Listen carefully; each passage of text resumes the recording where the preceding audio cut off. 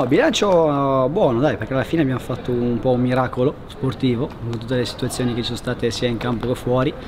Il bilancio può essere solo che positivo, però come sempre tifosi un grazie va sempre a loro, infatti quando con il risultato vado sempre sotto da loro, quando posso ovviamente, quando faccio gol, perché se lo meritano e perché se non ci fossero stati loro questa roba qua non poteva, non poteva capitare sicuramente.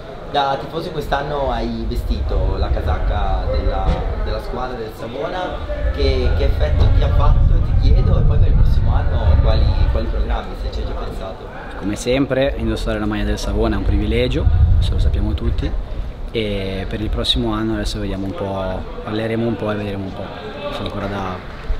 Lorenzo, scusa, ci avete messo un po' a a uscire dallo spogliatoio si sentono ancora urla, cori, è il sintomo di, una, di un gruppo, di uno spogliatoio che insieme è stato davvero bene, che poi è stata, diciamo, conti fatti, eh, l'unico carburante che vi ha permesso di arrivare a fine stagione in questa maniera. Quello sì, siamo contenti, anche i ragazzi nello spogliatoio stavano parlando, eravamo molto contenti, anche se non ci giocavamo niente adesso, però eravamo stati molto contenti e ne approfitto per fare un bocca al lupo a Stefano, a Caredda, che speriamo poi che, che stia bene.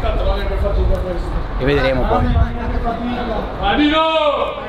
Il chiavino! Ho fatto doppietta perché non lo marcavano mai è così, è così.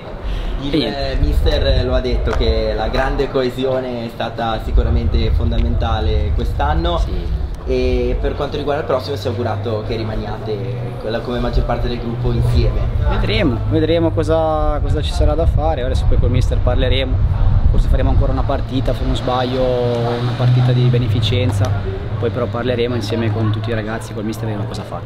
Grazie. Grazie.